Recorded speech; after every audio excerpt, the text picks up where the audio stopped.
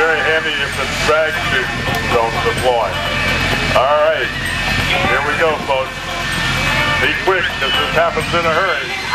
Here goes Paul, bringing up the engine.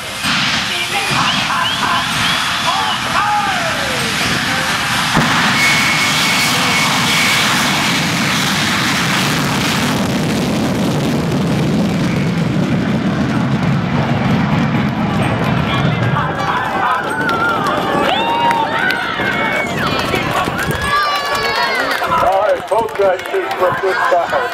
350 miles an hour. Uh, he was getting he was getting close to that. Uh, right through there. He really didn't really didn't think to start accelerating until he got past uh, taxiway.